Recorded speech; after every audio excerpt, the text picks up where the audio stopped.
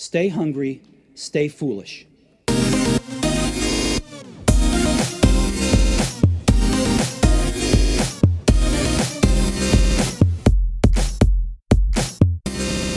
key to success in sales and marketing often lies in the art of persuasion.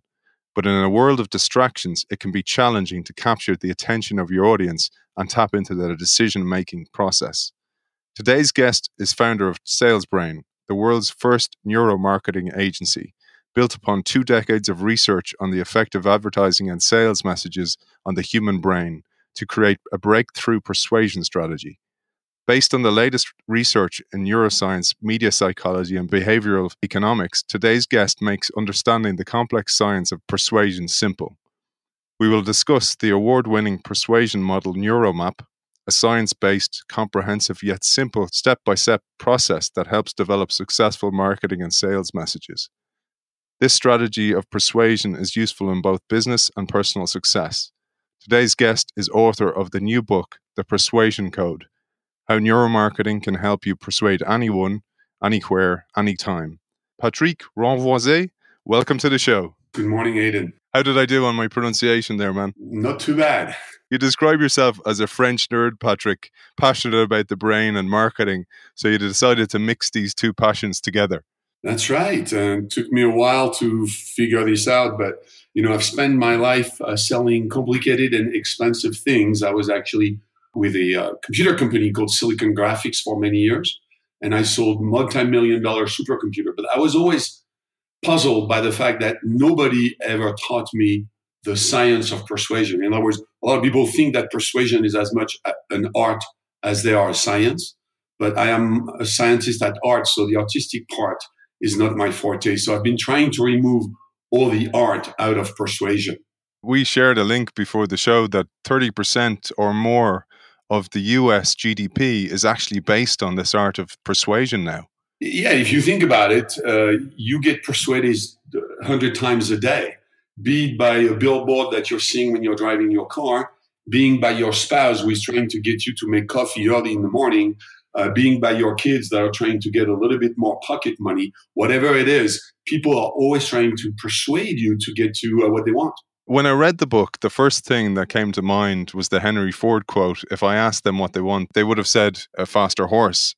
We can't easily articulate what we want. It's kind of funny because this is what marketing is supposed to do. In other words, the definition of marketing in a few words is, I think, quite simple, but it's the idea that you ask people what they want, and then based on their answers, you will build a product and later you will build a strategy to sell that product. This is what traditional marketing has been all about.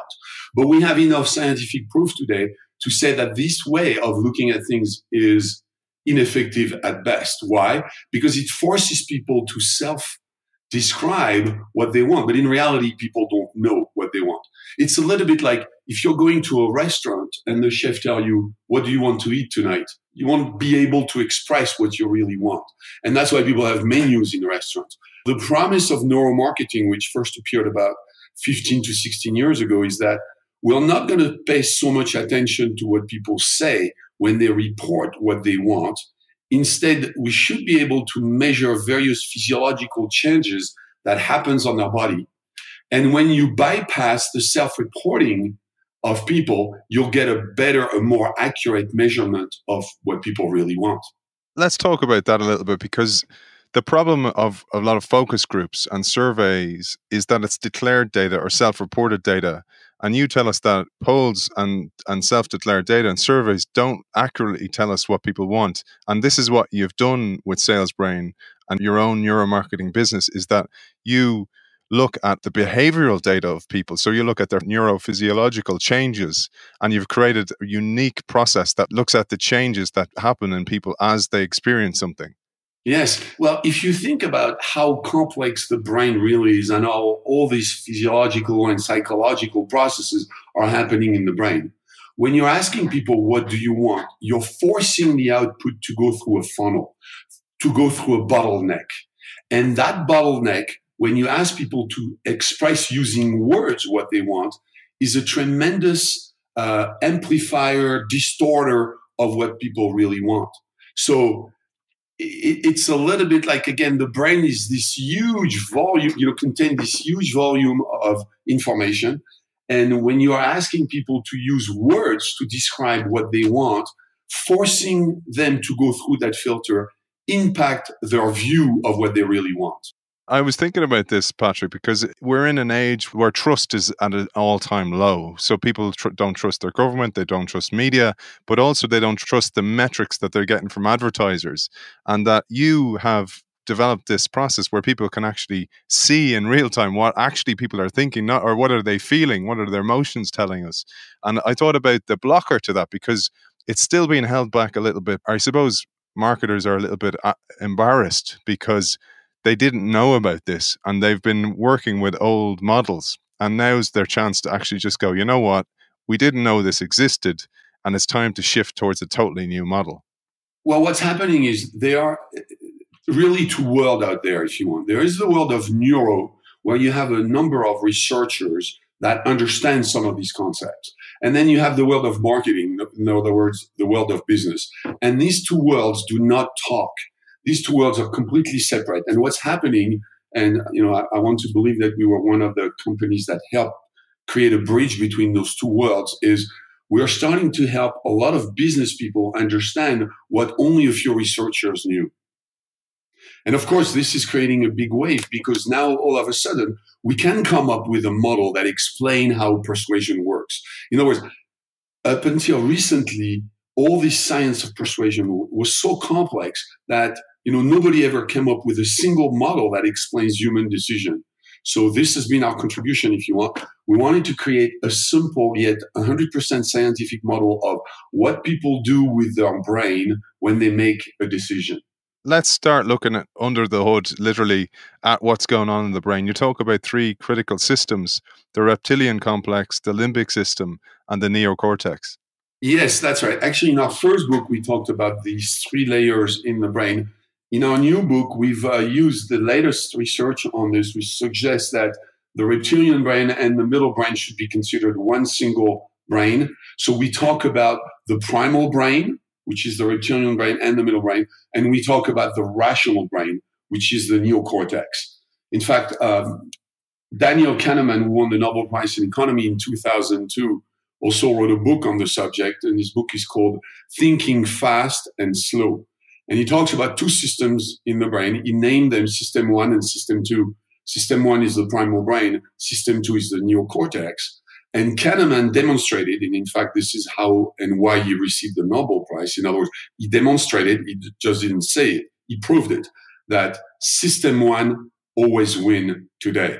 In other words, that our primal brain, although we want to think of us as rational people, our primal brain today still has more impact on our decision than our neocortex. You call this the bottom up effect, and I love this. And when I thought about it, it was almost like so your primal brain and your rational brain are driving around in a car all the time. And lots of advertisers and lots of marketers try to appeal to the rational brain, thinking that's the more clever brain or the more advanced brain, while it's actually the primal brain who's kind of going, nudges the rational brain and goes hey this is worth looking at this is this is of interest and that totally changes the game Yes, you're right. And, and you've used a very interesting word, which is the word nudge, because there is another author by the name of Richard Thaler who wrote a book called Nudge. And Thaler was a student of Kahneman. And Thaler also won the Nobel Prize in Economy, not in 2002, but in 2017. And uh, Thaler also describes, talks about system one and system two, and he's also convinced that the key to persuasion is about impressing upon system one or the primal brain. And you've built on that work, including your earlier work on neuromarketing. You've built on this to bring it right through all the way to sales. Let's talk about attention because attention is the new battleground, really, because it's a place where many people are struggling with their focus and attention, and also the flood of messages we get every day. You tell us about reflexive attention. I thought that would be really interesting to share that with our audience. Yes, so the field of attention is a very, very complicated subject that neuroscientists are trying to crack. And I think the best way of explaining it is, is the following. If you take a typical brain, a typical brain processes about 11 million bits of information per second. So, you know, you're sitting right now, and maybe some people are listening to this radio show, and their brain is receiving a tremendous amount of information. They have information that come from their five senses. So a lot of information comes from the visual sense, then their touch, their smell, etc., and all the internal processes that goes on inside their brain. Unfortunately, they cannot attend to these 11 million bits of information that comes to them, and they can only process 50 bits of information per second. And this is what defines attention. Attention is what helps us put, you know, most of our focus on only a limited set of processes or information. So it's a little bit like this, right? Like imagine you're driving in the dark at night. And imagine you're, so first of all, you're still driving, so you're getting all the information about the speed of your car and the lights that, uh, you know, you see in front of you but you're still thinking about a lot of things. In other words, you might be thinking about uh, what you're going to be eating tonight, that you have too much work, and, and all of that. So that that focus, those 50 bits of information that you can focus on, are dedicated to help you drive the car and think about what you're thinking. However, if a light flashes on your right hand side, that flash of light will force your attention to go through that flashing light. It's like a reflex function. It's just like when you eat your knee and it contracts your muscle. That flashing light will force your attention. It will result in you turning your head towards that source of new information. Right? So that's what the field of attention is all about. And as you can imagine, marketeers are trying to get your attention because they want you to take the next click. They want you to spend a little bit more time on their homepage. They want you to at the end of the day decide to click on the buy button. So people are competing to get that little bit of attention and people are trying to define what attention is, but it is really, really complicated. So what we're trying to do with our model is to make all that field of attention a lot easier so that marketeers can now know what uh, you know they should be doing. And I'll, I will give you one quick example that talks about attention, but it's the notion of contrast. In other words, without contrast, it is very hard to pay attention. You know, if I go back to my example of the person driving in the dark of the night, what makes them turn their head towards this flashing light is the fact that everything was dark outside except that flashing light. And that contrast forced their attention to go there. Now, if you translate that into the world of business, what does that mean? Well, if you think about it, most companies, when they want to promote their services, their services, they claim that they are one of the leading provider of. And the problem is when you say, I am one of the leading provider of, there is absolutely no contrast. Why? Because all your competitors are saying the same thing. This notion of attention start with people saying something different, something which has enough contrast between what's being said and what every other message is, is using. I'd love if we focus a little bit more on some of the solutions you offer and the Neuromap as well, which is just a phenomenal tool. And I'm using it myself. I mean, you, you have a convert here with me. Once I read the book, I was like, this is phenomenal. And you're very generous in that you give the map in the book. You give an appendix at the end of the book where you can run through a questionnaire and go, do I match all these elements in order to get the best bang for my book possible? Before we go there, Patrick, it'd be great to talk about how our emotions and how homeostasis, for example, plays a role because there's much more at play. It's like we have this. I thought about the, the idea of a shepherd and a sheep, and it's like our emotions behave as a shepherd and herd us into certain behaviors the whole time, and we're totally unaware of. And by being aware of them, it can empower us in a way. Yes. So to make this uh, rather clear, let's think about the very first form of life, and one of the most basic form of life is a unicellular. So if you take a unicellular, that unicellular typically still has to make a couple of decisions. And the, the most important decision that those unicellulars are making is the following one. When they get stimulated by something, the question they have to ask themselves is, do I want to get closer to that stimulus or do I want to get further away from that stimulus? Let's take an example. If you take a, you know, a typical unicellular and you put a drop of sugar close to it, sugar is a source of energy which this which this unicellular needs. And so what will it do? Well, if it senses sugar close to it, that unicellular will get closer to the stimulus.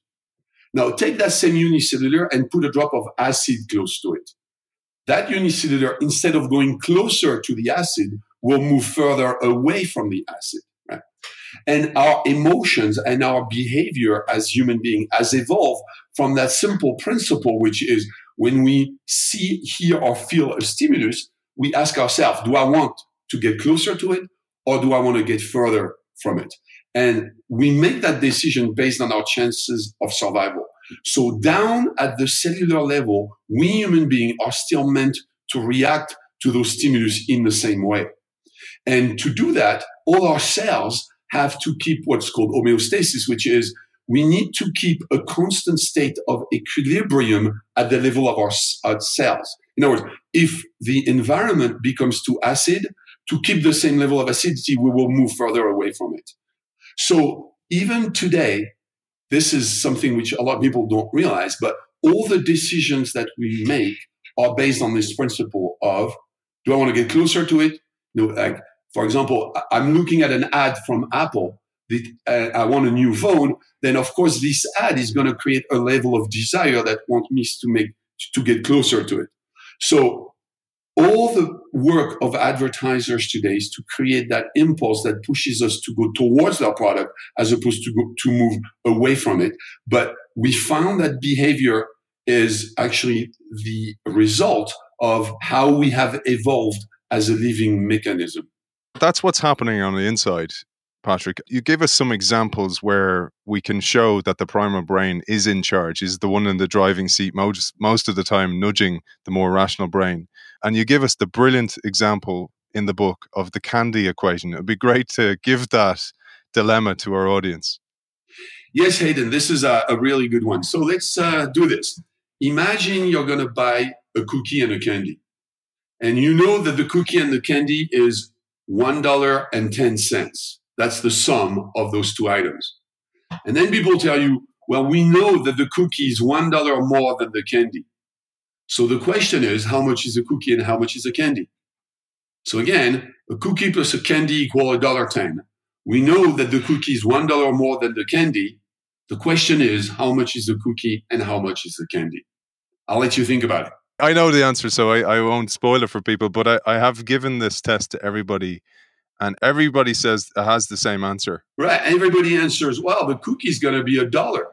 And that's the fast brain, the primal brain, jumping to the conclusion, which happens to be wrong. Because if you do this, then the difference would be only 90 cents. So the real answer is the cookie is $1.05 and the candy is 5 cents. However, regardless of your level in mathematics, in other words, you can have a PhD in mathematics, most likely your primal brain, your fast brain, made you jump to the wrong conclusion. And what I love about this, Patrick, is even when you tell our audience now, and even when they probably write it down or contemplate it, your primal brain still fights it. And then you'll ask yourself again, and you're going to go, How is that again? You'll kind of forget because it's like the primal brain's constantly fighting to go, Actually, I'm right here you use this as a brilliant example to show some of the biases that are a result of our primal brain. And one of the brilliant ones is the gain maximization bet and the loss of avoidance bet. Yes, the loss aversion bias is probably one of the most important biases. And by the way, most people don't know this, but we human beings have 188 cognitive biases.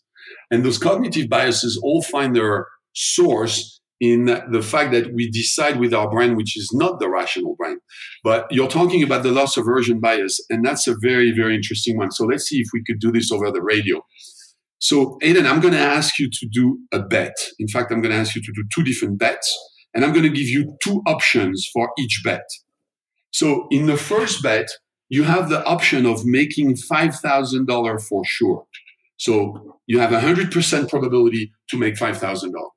Or your option is we will flip a dice or a, a coin, and if the coin lands on heads, you will win $10,000.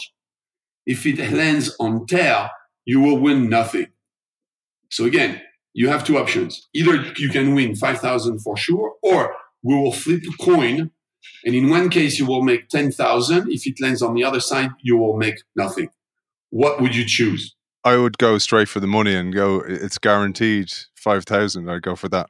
Yes, in fact, you know, Kahneman, who did that test, found that about ninety-seven percent of the population would choose that option. All right. So, so far, so good. Now let's do another test now, another bet. In this other bet, your first option is to lose $5,000 for sure, or we can flip a coin and you can lose $10,000 or you can lose nothing. So what would you choose? Again, you have two options. You can lose five grand for sure, or you can lose 10 grand, or you can lose zero. And what will decide is the toss of a coin. So in this, Patrick, I'd go for the flipping the coin because it seems like the only rational choice that I have. Right.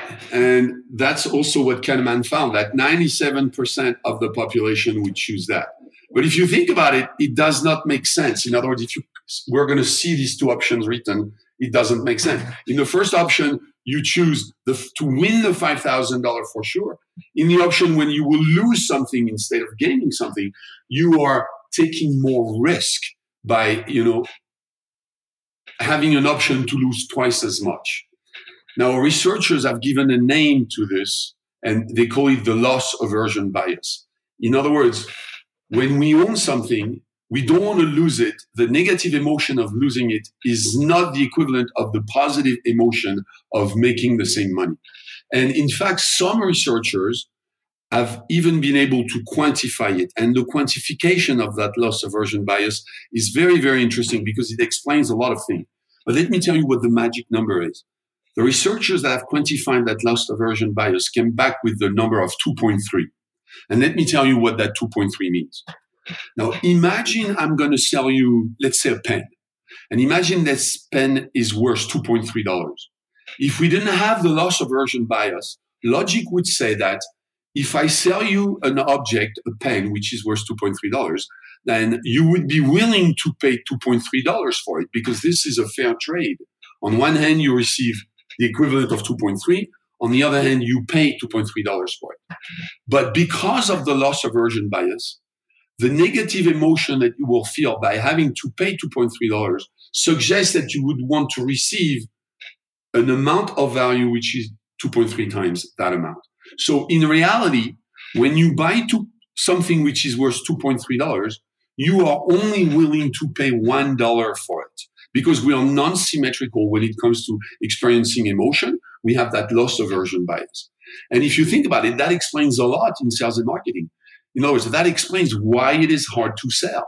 Why is it hard to sell? Because whatever it is you're selling at a price of $1, people are not expecting to receive $1 in return. They're expecting to receive $2.3 in return.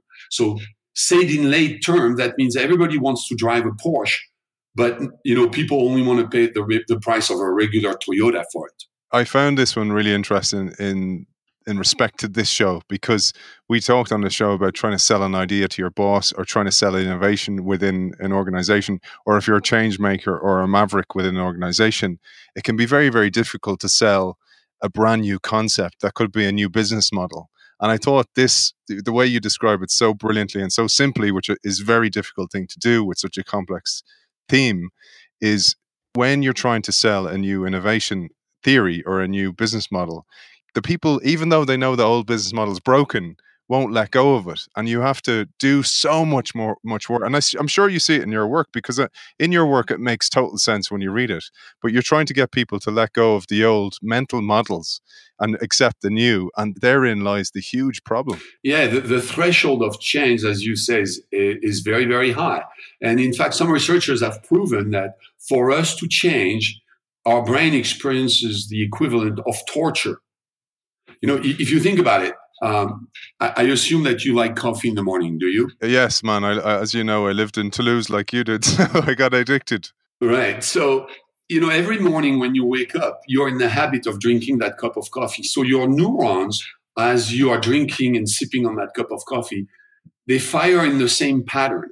And if your doctor, for whichever reason, told you, well, you know, Aidan, now you cannot drink coffee anymore. It's bad for you. You're going to have to switch to green tea without sugar that change of the experience of drinking green tea over coffee now re- requires your brain to fire those neurons in a different pattern. And forcing that change of pattern is extremely, extremely painful. In other words, you know, our primal brain, our brain that decides what we want, is the brain of habits. And once we have a certain habit, to break it is very, very difficult. And once again, you have to prove to people that they will gain so much more to force them to go through that painful experience. Patrick, you, you say there's 188 biases that we suffer from. I thought it'd be really interesting to share a couple more before we start looking at how we can unwrap them and fight against them. And the other one that you talked about that's really interesting when it comes to pricing and it comes to marketing is anchoring bias. Yes, so the anchoring bias is a well known one by people who've been involved in negotiation for a long time. And it is that once you set people's brain into a, an area of value, uh, they will have a really hard time to move away from that. That's why they call it the anchoring effect. And the idea is, you know, when you're in a negotiation situation, the first one who suggests a price is going to lose because the price is only going to go higher if you're the seller and it's going to go lower if you're the buyer. In other words, once people have set their mind into one direction or one amount of value, it is very hard for them to go beyond that. So the idea is, uh, if, for example, I am selling you something, I want to create the perception that that something is extremely expensive because if you buy a Louis Vuitton bag at $500, you're going to be making a good deal. Why? Because you have anchored your brain towards the idea that a Louis Vuitton bag should be in the two to three thousand dollar price point. However, if I sell you any other brand which is not in my mind as luxurious as the one you know I just mentioned, Louis Vuitton, and I tell you, well, you know, maybe you should buy my bag. It's only three hundred dollars. Three hundred dollars might seem to be an incredibly high amount of money if that brand is associated with a much lower price point in the first place. So this is the anchoring effect. And of course, anybody who is trying to sell need to set your mind towards the fact that their product is val- is so much more valuable than what people think. And you unlock this. I mean, you don't you don't just give us all the problems and all the, the biases. You set this up for us, and you go, look, this is what you're dealing with.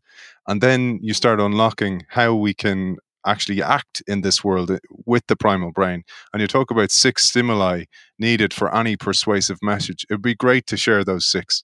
Yes. So, as we said, human beings are afflicted by 188 cognitive biases. And those biases are by nature rather complicated.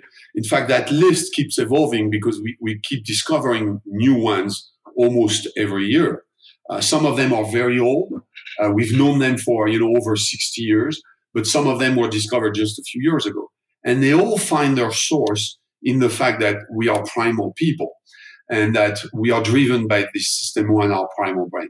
So what we've tried to do instead of you know, forcing an explanation on 188 cognitive biases, which is very complicated, we have summarized these 188 cognitive biases in what is called six primal stimuli. In other words, you can understand, you can help people understand human behavior by looking at what will truly make an impact on the primal brain of people and what will really have an impact on those brains need to have a stimulus component, which can be summarized to six of them.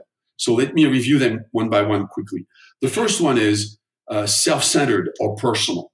In other words, by definition, we are selfish people. And most people don't realize how selfish we really are. Why? Because at the end of the day, every decision that we make is based on our own survival. So that's the first stimulus. It is personal. The second stimulus is contrastable. And we spoke already a little bit about contrast. And it's the notion that if you want people to react, you need to show them an image or an experience which will have contrast because it forces their attention. The third stimulus is tangible. In other words, the primal brain does not understand complex concepts. In fact, the primal brain barely understands words. Why? Because if you think about it, words have only been around for about 10,000 years for written words, and they've been around only for about 50,000 years for spoken words. However, our primal brain, or system one, is approximately 500 million years old. So words are not tangible enough. Words have not been around for long enough to make an impact on our decisions. And if you think about it, because words are not tangible enough. And so again, I can give you a, a very simple example of that. But imagine we're locked into a room and you see smoke coming out of one of the doors. And if I tell you, don't panic, because if we panic, you know, we may just trip over each other and somebody will die. But if you see that people are rushing towards the door, the fact that I'm using words, tangible words, that, that are trying to prevent you from doing the wrong thing, it will have zero effect on you because down the road, words are not tangible enough. In other words, if your brain sees a lot of people rushing towards the door, the fact that you use words to counter interact with this uh, concept, it's not going to do anything. Patrick, is that why, for example, if somebody's panicking, it takes a while for them to create the capacity to listen to you, to hear your message, or even children, for example, because their more advanced brain isn't as advanced as, as an adult, for example? Yes, absolutely. Because we do not process information in a linear way.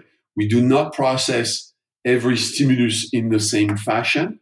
Our brain has various neural paths that uh, will either favor or discount different kinds of stimulus. So, for example, the stimulus of word is much less important than the stimulus of visual. In fact, visual is one of the next six stimulus, which is our brain favors the visual stimulus. And there are many reasons for that. But one of them is the optic nerve is much faster than the auditory nerve. In other words, the optic nerve carries approximately 50 times more information than the nerve from the ear to the brain. So when I'm talking to you, if I'm trying to use words, which of course will be decoded by your auditory cortex, that message will arrive to your brain in a much slower way than if I show you a visual. So that explains why uh, the visual stimulus is important. In fact, in the US, it is illegal to show visual bodies of soldiers that have died in a fight. Why? Because they know that it creates such an emotional cocktail to people that it is not allowed. So you're, you can report on the deaths of American soldiers. You can use words to do that, but you're not allowed to show images. Within visual as well there's four types of visual stimulation which is really useful for marketers. The 3d moving object the static object the 2d moving object and the static image. It'd be great to share them. Yes so so now even when you're talking about the visual stimulus there is a hierarchy of stimulus that have a greater impact on your brain.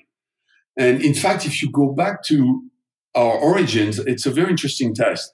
Um, i have actually another test which is kind of interesting and it's when you ask people think, give me an object, give me the name of a tool.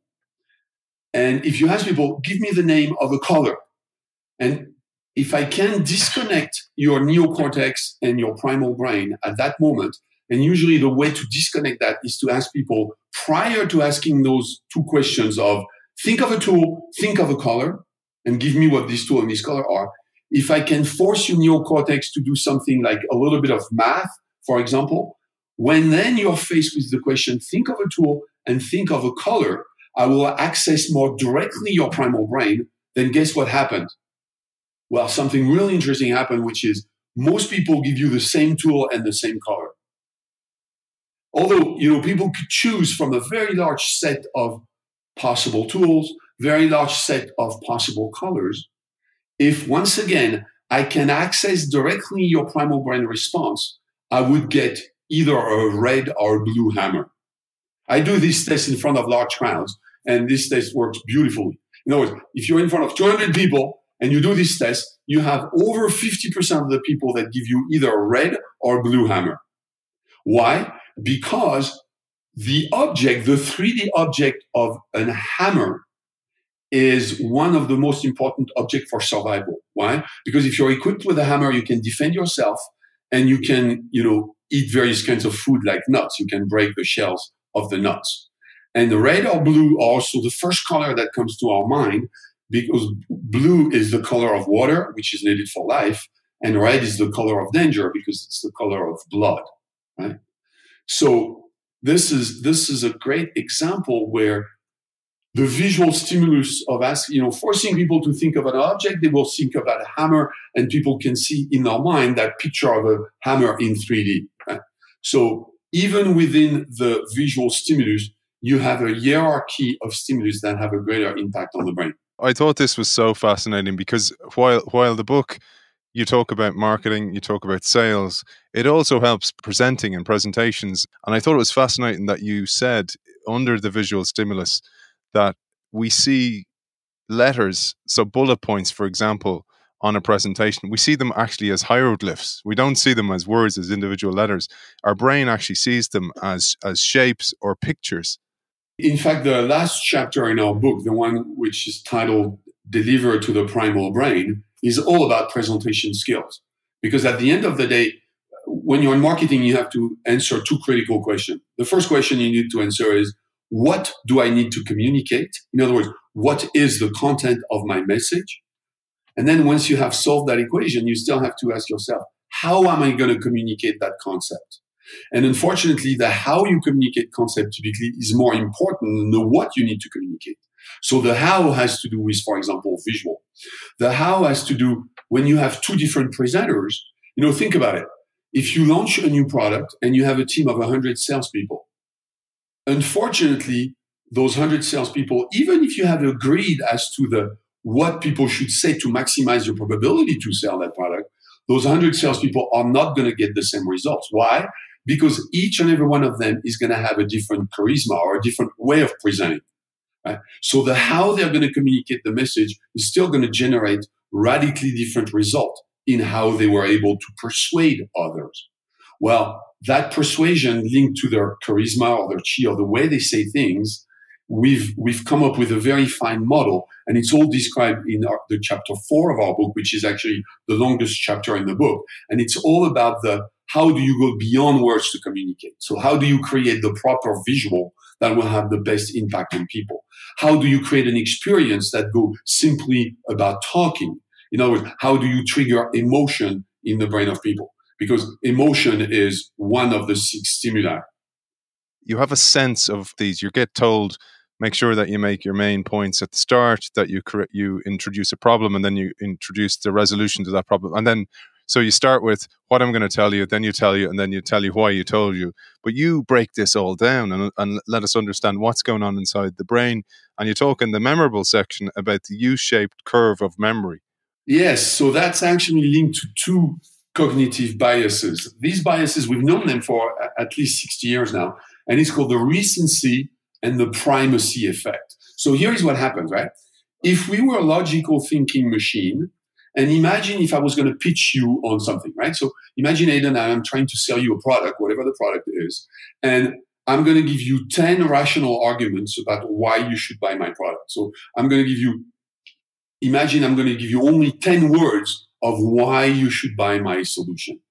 Logic would say that if we were rational thinking machines, we should be able to remember these 10 points in a linear fashion. In other words, that the probability that you, were, you would remember the first word or the last word or the middle word would be the same.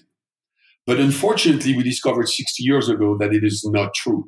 We have what's called the recency and primacy bias, which is when something is completely new. In other words, the first time I said a word on my list of 10 words, because it was the first time that I pronounced the word, people will tend to remember that word more. And the recency, so that's the primacy effect, the first one. And the recency effect is the last word that I said, in other words, the most recent in time from now, is the word that people will remember the most. And unfortunately, most people will forget most of the words in the middle.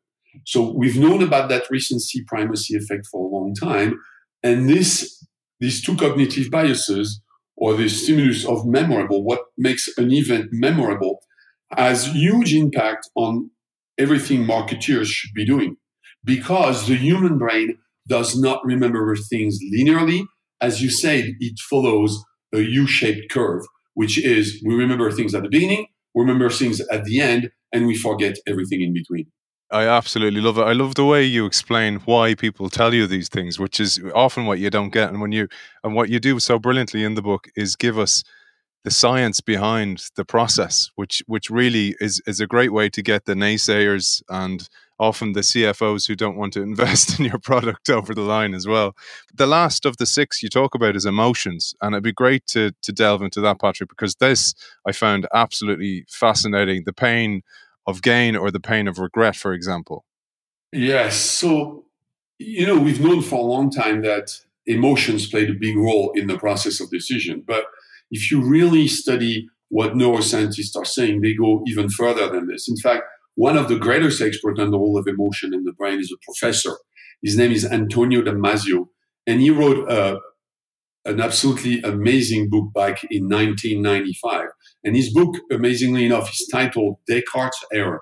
And let me tell you what he says in the book. He says, We are not thinking machines that feel we are feeling machines that think once in a while. We are feeling machines that think once in a while. So it's not like emotions are optional.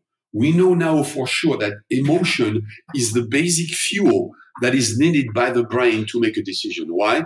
Because there is no such thing as a rational decision. It just does not exist. Why? Because the brain is an emotional processing machine. And Damasio demonstrated this brilliantly and he wrote a fascinating book on the subject. And his book is titled Descartes' Error because, as you know, Descartes was a French philosopher who lived in uh, the 1500s.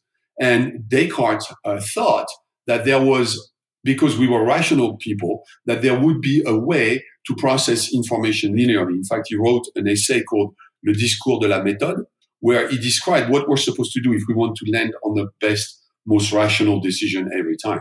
And we were under the illusion that we human beings were rational up until Damasio, again, it's quite recent, in 1995, demonstrated that it does not work that way. In fact, he said, you know, Descartes was brilliant, but he was completely wrong. And he demonstrated that we are emotional creatures that make emotional decisions. So here is what happened is we make emotional decisions unconsciously and then we will take several cycles to justify rationally why we made that decision. But down below, all our decisions are driven by this need for emotion. And again, remember that these emotions find the, roots in the notion that if I get a stimulus, I'm going to ask myself, is it a positive stimulus? Do I want to get closer to it? Or is it a negative stimulus? And do I want to move further away from it? In fact, the word emotion comes from the Latin words movere, which means to move. So an emotion is what precedes motion. In fact, we talk about emotion, right? So an emotion is what is needed for us to decide if we want to get closer or further away from a stimulus. And of course, all the marketeers are trying to create that positive emotion that will draw you towards the product.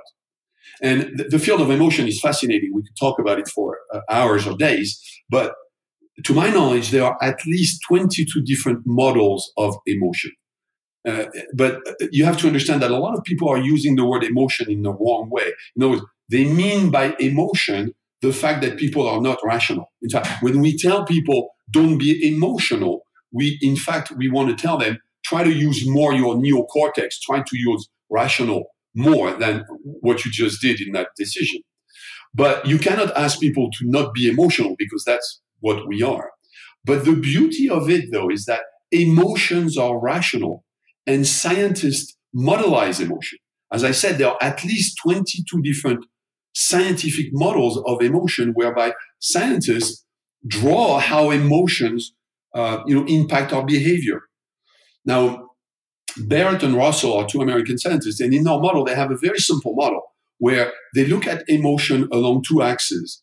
One axis is the axis of positive or negative emotion, and the other axis is emotion that puts you to sleep and or emotion that gets you wired. In other words, emotion that gets you excited or emotion that gets you, you know, asleep. And on that continuum, if you think about we human beings go through, we go through a roller coaster of positive and negative emotion at the rate of about one every three seconds.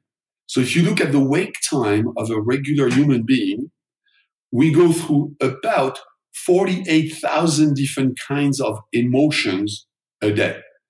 In fact, another scientist by the name of Plutchik has a model of emotion which is really rich because he's talking about eight primal emotion or eight basic universal emotion that everybody experiences. And he says that when you combine some of these emotions, you get another emotion. So, for example, he has the emotion of joy and he has the emotion of trust. And when you combine joy and trust, he calls that love. Right? So, so in his model of emotion, you can have different intensity of emotion. So joy, if you take a lower level of that emotion, you will you will get um, I can't remember how he, he calls it, but joy at a lower level has another name as an emotion. And in his model, you can combine all these emotions. Now, unfortunately, in English, we have only eight to 9,000 words that describes emotion. Yet we human beings are capable of experiencing, you know, depends who you ask, by the way, but if you ask Buddhist people who have studied emotion for many years, they, are, they say that human beings experience up to 64,000 different kinds of emotion. If you ask other scientists, they will give you a, a number of about 12,000. The problem is we only have eight to 9,000 words that describe emotions. So that means there are still many emotions for which we have no name. But here is the key though, is we human beings are going through that roller coaster of positive and negative emotion at the rate of one every three seconds. And we will experience those to about 48,000 times a day. Now think about what's the secret of why we buy. So in this mess, which, you know, maybe we will call our lives, which is that roller coaster of positive and negative emotion. Why would people decide to buy something? Well, people will decide to buy something only to the degree that they believe that the product or the service that they will buy will take them from a negative emotion. In other words, they're experiencing some kind of pain. We, we, we, use the word pain in our book because pain describes really well what a negative emotion is. Right? But people will go from a negative emotion, which we call pain, to a positive emotion, and that's the value of the product. Right? So imagine I, I lost my, or I, I, need a new car. Well, I'm thinking, so that's my pain today, right? My pain is my car makes a strange noise. I'm afraid that it will break any time now, and I will be stranded in the middle of the highway. That's the negative emotion that I have. I really need a new car. I'm afraid um, my car is going to die any minute. So now I'm thinking, wow, I need to buy a new car. And if I buy a Porsche, I will look really good in that red sports car. So what would make me want to buy the, the Porsche is that positive emotion that, oh, yes, I will look nice in that red sports car. So that's the promise, the secret of why we buy. The secret of why we buy is because we are made to believe that the product that we will buy will take us from a painful situation a negative emotion, right? I need a new car. My car is going to break. To a positive one, oh, I'm going to look great in that red sports car. Now, in the case of that red sports car, I know, however, that I will have to pay for it. And paying for the product creates a negative emotion, right? So the secret of why we buy is that marketeers want to make us believe that at the end of the day, the positive emotion that we will experience when we will buy the product will be greater than the negative emotion that we are experiencing linked with the fact that we have to pay for it. And to make things even worse, we know that that negative emotion fundamentally needs to be multiplied by 2.3 because it's the loss aversion bias, right? So again, the, the sacred grail of persuasion when it comes to selling something is to make the audience believe that the positive emotion that they will experience is greater than 2.3 times the negative emotion that they will experience by having to pay for the product. And that's how emotions play in every decisions we make. When you think of the competition and homogenization of brands, this knowledge for people is absolutely gold. We've talked about a lot of the problems and built up the pain for so many of us, you know, overcoming the primal brain, overcoming all the cognitive biases you give solutions, and the Neuromap is fantastic, very easy to use. But it'd be great to finish up with delivering to the primal brain. You mentioned this chapter earlier on, chapter eight, very long and detailed chapter, and you include six persuasion elements and seven persuasion catalysts. It'd be great to finish with them briefly, Patrick. Yeah, so uh, let me give you a couple of ideas. So, on these persuasion elements, think about how people traditionally try to influence people. In other words, you know, I, have been in the computer business for a big period of my life, and I have seen thousands and thousands of corporate overviews. And in the corporate overview, people talk about who we are, what we do, our people, our technology, etc. And that has very little chance to influence people because it's so self-centered on me. And by definition, my prospect, primal brain, is personal, so they only care about themselves. And because the attention span of people is very short, the idea is how can you communicate your value proposition? In other words, how can you get the brain of your audience to quickly, and when I say quickly, I only talk about you know a few seconds, understand how if they buy your product, they will experience that positive emotion. So, you know, using words to try to create an emotion is very, very difficult. So we have this notion in the book of how can you grab the attention of your audience by communicating to them in less than seven seconds some kinds of experience that will help them leave the experience of that positive emotion. And I will give you a very simple example that, that people typically understand because it's very, it's very easy. But imagine if you're selling a product to regrow hair for men, right? So a lot of men are bald and their pain is they don't look good without hair. So how could you communicate the value proposition of a chemical that regrows hair. Well, the thing that, and how can you do it in less than seven seconds? So imagine if I was going to try to do this, I could tell you, well, Aidan, you know, I think you're, you're starting to lose some of your hair here. Maybe you should consider a product that regrow hair. And we have this new chemical, and I'm going to start talking to you about the, the chemical element in the product that I'm selling. Zero impact, right? So how could I create what we call a grabber? In other words, an event that will help you relieve in seven seconds or less the positive emotion linked with my value. Well, here's what I would do. First, I would start by showing you a picture of a bald guy. Why? Because by showing you the picture of the bald guy, you will immediately relieve that negative emotion of the pain. And then guess I'm going to contrast this image with what? Then I'm going to contrast you that negative emotion with a picture of the same guy now, but with a head full of hair. And do you see how by seeing now that guy with the hair, with his head full of hair, immediately you will experience the emotion that, oh yeah, if I use that product, I will go from the pain to the relief of the pain. And now all of a sudden, I'm capable of communicating my value proposition in less than seven seconds. And, and in fact, we've seen that in many other examples, but the other very ex- famous example is if I sell you a product to lose weight, right? So I can start talking about how often you're going to have to come to the gym, or I'm going to start, I could start talking about a long list of things you should eat and things you shouldn't eat. But if I do this, I will not be able to help you relieve that positive emotion in, in less than seven seconds. So how will I do it? Well, I would show you a picture of the guy who weighs 300 pounds. And then I would show you a picture of the same guy who now weighs only 150 pounds. And by doing this, your primal brain will go, oh, yes, this is me now I'm overweight. And if only I was going to, you know, buy this product, boom, instantly I would lose, you know, half of my weight. Again, when you understand why, it's not somebody's opinion, it's actually fact. Right, right. And, and the key, it's again, what can people create in terms of stimulus to communicate their value prop in seven seconds? We call that a grabber. And the technique that I have used, uh, that I was describing to you, is called a big picture. In other words, how can I show my value proposition in one visual? And in the case of the guy who has no hair, my visual would be contrasted because on the left side, you will see the guy with no hair. And on the right side, you see the same guy with a lot of hair.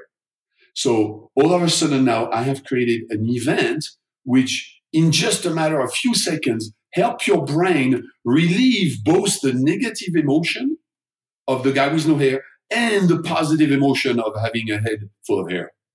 That's one of the six message element that we describe. And let me tell you one of the seven message boosters or message catalysts, as we call them. And that one is called wording with you.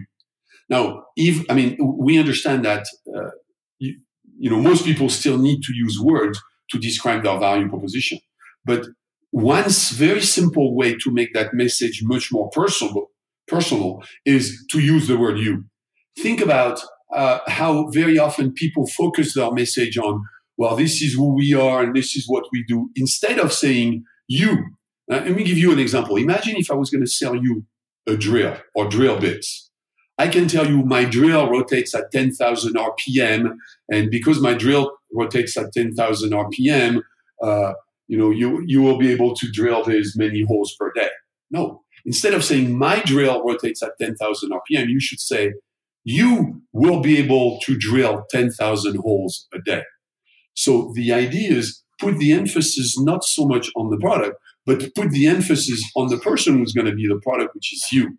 So by translating all the messages which are written typically in the we or the our language, translate those messages into the you language that forces the brain of your audience to put themselves in the driver's seat. And all of a sudden, you, Aidan, who has no hair, will be able to regrow hair and you will have a head full of hair.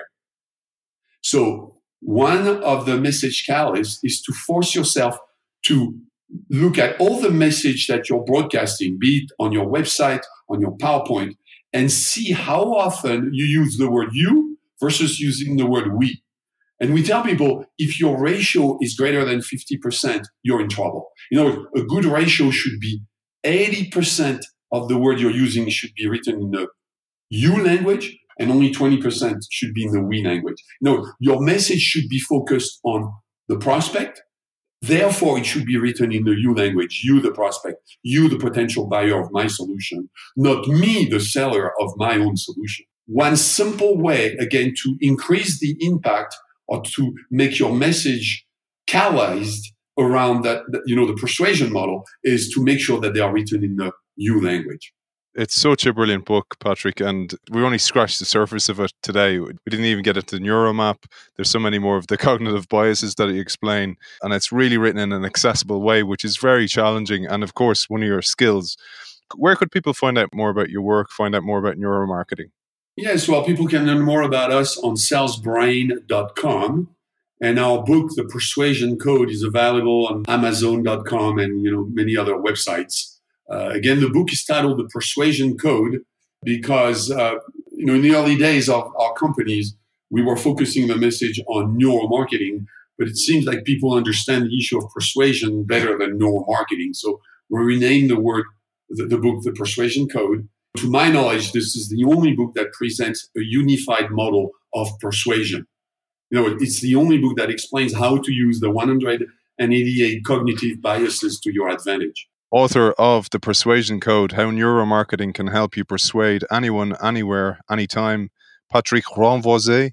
Thank you for joining us. Thank you, Aidan.